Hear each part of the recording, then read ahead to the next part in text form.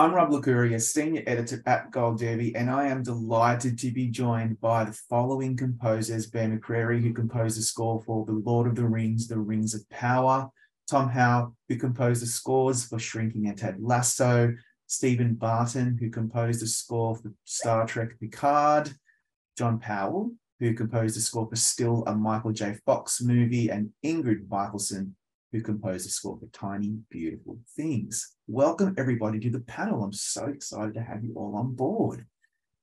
Now, here's my first question. It's, it's a, we're going to go a little deep because a film or TV show is so often most effective and potent as an art form when it makes us feel something fear and joy and sadness and all those beautiful emotions and of course it's the composer that has to do it. It's it's your job to elicit that from you know from our heart and soul. So what are the best ways for a good score to elicit certain emotional responses in a tv show? Who would like to regale me with their thoughts first? Bear i think it's you. I'll go first. Uh, that's a great question. And um, my mentor when I started in the business was a composer named Elmer Bernstein who is one of the most famous film composers of all time. And I learned a lot from him. But the thing that I learned that I use every day is he he said over and over there's only one thing you ever need to ask a filmmaker. What do you want the audience to feel? Don't ask them about instruments, don't ask them about themes, don't ask them about the temp. Just ask them that. Then and and I have found that that has bailed me out of a jam every time uh, that that actually is fundamentally the job is answering that question. And um, yes we have uh, various tools at our disposal but i mean i think even more fundamentally we have to understand the task the nuance of what you want the audience to feel. Then it's our job to go find the different colors and harmony and melody and rhythm and spotting and volume and all this stuff that is technical but ultimately, if we don't know what the director or the showrunner wants the audience to feel, then then we're lost. I'm curious to you know if everybody else has has a similar philosophy. How do you guys approach it? I guess I mean, I think one of the biggest challenges I think you have often have to find out is is is the the simple art of knowing you know even when to when to not play things. Um and you know as as filmmakers we we are first and foremost we're or filmmaker television whatever you know media, music synchronized with media.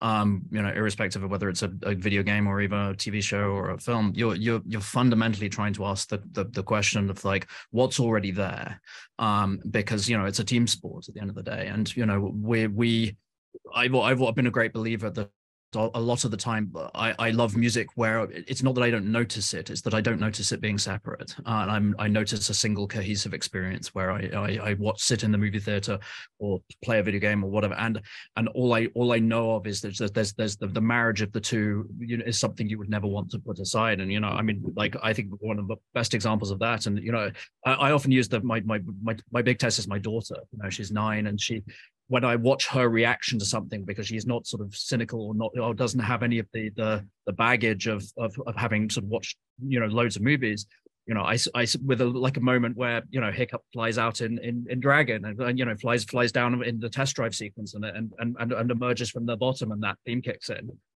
I just watched the joy on her face and I'm like, okay, that's what we're doing. That's our job. Our job is to evoke that.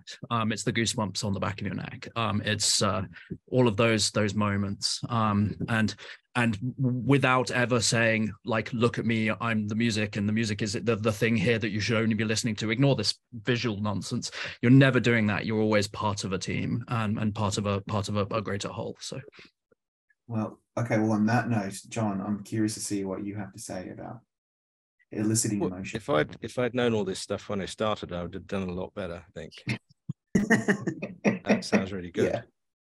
Yeah. um, yeah. I mean, you know, yeah, you're supposed to. I don't know. The two things is that you know, I I wanted to write music, and then I discovered that you can't make any money from it.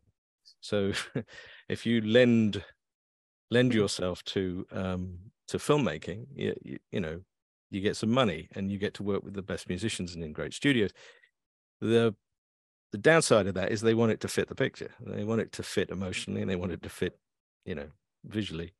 Um, so it's sort of a mixture of, for me, it's always been a. I, I love the inspiration of the film to try and write things, uh, but then, you know, it's quite hard because you really have to realize you're a collaborator, and that it's about the story.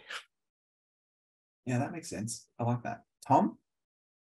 Well, I think that's. I mean, fun of without the picture, I don't know how I would, uh, or you know, some semblance of what it is that that someone was wanting. I don't know how I would start, but I think that the um, one of the things I've got quite into in the last couple of years is that you know sometimes you're doing you say you do a film and you have a melody that kicks in, you've got a big orchestra and you can go somewhere like Abbey Road, but sometimes you don't have that budget and you haven't got that and you have to find other ways to bring the emotion in and one of the the the best things that I picked up working with Marcus, interesting when we had those 10 days together, was that he was I I was most concerned about what theme was going to be, that basically what the notes were and how it was going to uh, go with the picture. And what he was most concerned about was what microphone we were using and how we were going to put it through the desk to give the warmth in the sound that he wanted. I mean this in a total comp. I mean, as in, and when you mic a piano really well, and you've got it and it sounds really warm, it has a kind of depth and an emotion in it that you do not get from a kind of you know a MIDI kind of mock-up of whatever. And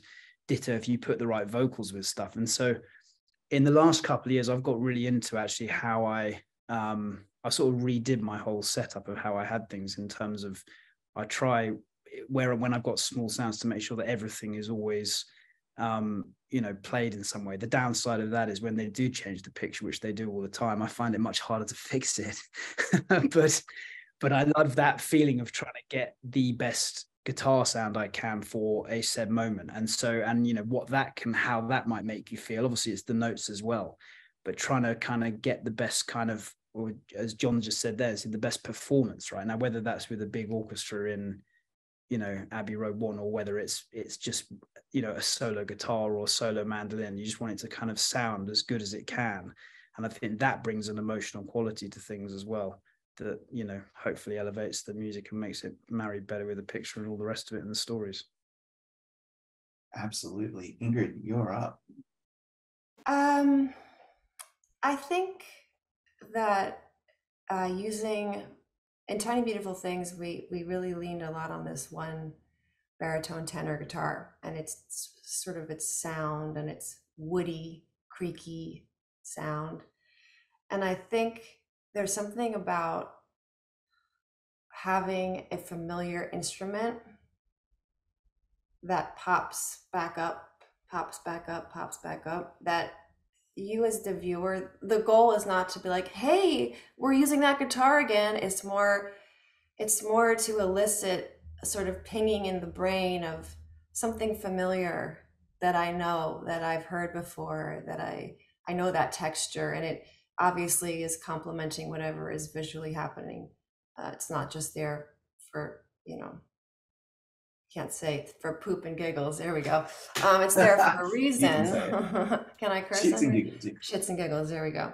Um, I also felt like when we used my vocals was very precious. I in my um my solo work, I'm always layering and harmonizing and I can't stop. I'm just you have to. It's bad. You have to stop me. So with this, I wanted to really be really careful because when you hear a human voice, at least for me, that does something to me also. Something sort of innately human when you hear another human, even if it's oohing and eyeing and there's no lyrics. So that was another thing that I felt was a little these little emotional moments that you could have with the audience um, through through my vocals um, and peppering those where we where we needed them. Yeah, and what a difference some of the beautiful oohings and ahings that you've used, Ingrid, compared to like what Bear's doing on, on a track like Khazad-dûm or Nampat, where they're just kind of like, you know, it's it works, it's beautiful, it's the same scary. thing. I mean, Ingrid's totally right. The human voice uh, is is such a powerful uh, tool in our arsenal. You know, a, a, color on our paintbrush, so to speak. Um, and I definitely lean heavily on that. Um, they can communicate text, which also can can carry a lot of meaning, even if you don't understand it. You can feel that there's meaning. But Ingrid, you said something else that really resonated with me. That it's it, that, that I was thinking. Um, also, Tom, when you were talking about like the sound of the piano, right? That in a way, there's like this Pavlovian effect that happens. We mm-hmm. condition the audience to have certain emotions. Some of it's innate, right? You've you've you hear a certain solo cello playing something and you you know maybe that feels happy or sad but what's so interesting about film is we can we can reassign that pretty quickly certain characters occur and it's almost like i'm going to use this sound or this theme on this person use it once and it's like oh that's interesting a second time i'm starting to connect uh, for me three is the magic number you use it three times the audience now understands that these things are related there's something on screen, whether it's a character or an arc or a subplot or something, and a sound. And then once you've taught them that, you can you can play with it and you set it in different contexts and you can mess around with it and they've they've they've kind of assigned at least in the world of just your show that this sound has this meaning and I, am fascinated by that. I, I, I love that.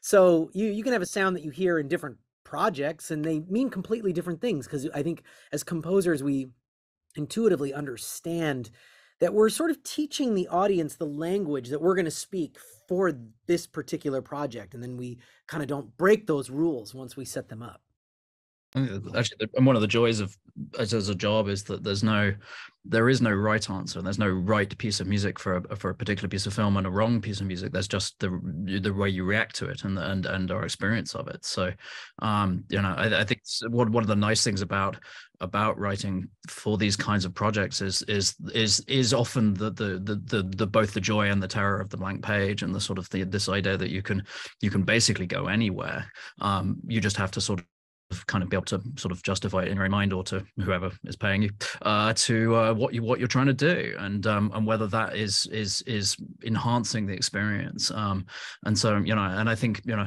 certainly I when I was stu- you know studying music as a you know when I was young I was like it was one of those things where that uh, I knew I never I didn't want to sit in a practice room and be a be a be a be an instrumental musician very much because I just the, the sort of the loneliness of that didn't really appeal to me. But the the team nature of what we do I think is is is wonderful, and the fact that you can have people who you know don't necessarily have a, a musical vocabulary, um, and uh, but they they can often have the, the greatest insight into what you're doing as a composer, and say and ask you questions and and and suggest things, and and and, hopefully you know in, in when you when you have a good experience because they're, they're not always good, but um, when, when you do, you get the ability to say, you know, uh, have someone say something really insightful that d- didn't include a piece of musical vocabulary at all, but just gave you a really sort of in- interesting insight into what you're what you're trying to write. Absolutely, it's so true. Now, before I let you guys go, um, I want to ask you what your favorite score is of all time. I have to do that as a film nerd. It's part of the it's and a TV nerd, obviously. It's just uh, compulsory. Mine, um, mine's modern. Mine's Michael Nyman's The Piano, um, and yeah, for various reasons. And and Abel Korzeniowski's A Single Man. We'll love that as well. Um, what about you? What are your favorite scores of all time? What do you love? What what inspires you the most? Uh, I'll go first, I guess. To me, the the score that I isn't my favorite, but maybe inspires me the most is Elmer Bernstein's "To Kill a Mockingbird," which is the score that, to me, defined what modern film scoring sounds like. It came out in 1960, but if you said uh, James Horner wrote that in 1992, or someone wrote it this year, you would go, "Yeah, no, that's that sounds right." It was massively ahead of its time.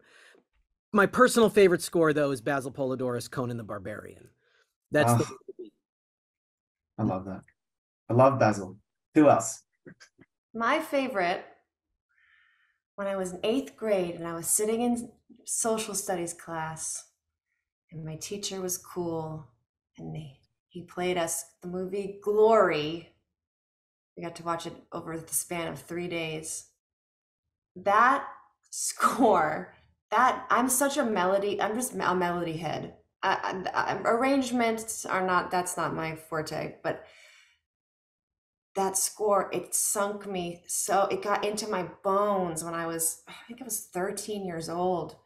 And I, I learned it on the piano and i would just like i would sit at the piano and play it and cry. Like because I, I would then attach it to spoiler alert, you know, them dying at the end and being buried in the grave together. And, but just that there that main theme, the dun da da da dun da da da da da da da da like it makes me want to cry now, so many years later. And I just um that them I I'm a sucker for swooping melodies and and that that movie just stuck with me and has always stuck with me and is like the the benchmark. Beautiful. Um, John. Uh, I depend depending on the day. I I tell people different ones because there's you know there's lots of really good ones. Uh, one of the ones I tell people is is Dog Day Afternoon because that's got no score and it doesn't need it at all. Um, or, or you know because like five seasons of The Shield, not a single piece of score in it. It works well.